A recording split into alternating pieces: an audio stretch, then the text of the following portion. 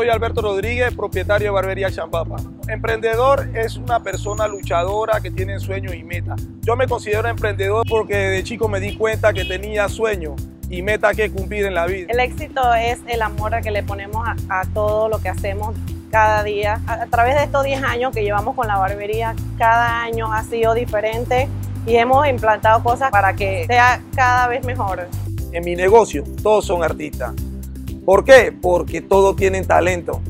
Aquí en la Champapa siempre hay talento, por eso le digo que ellos son unos artistas.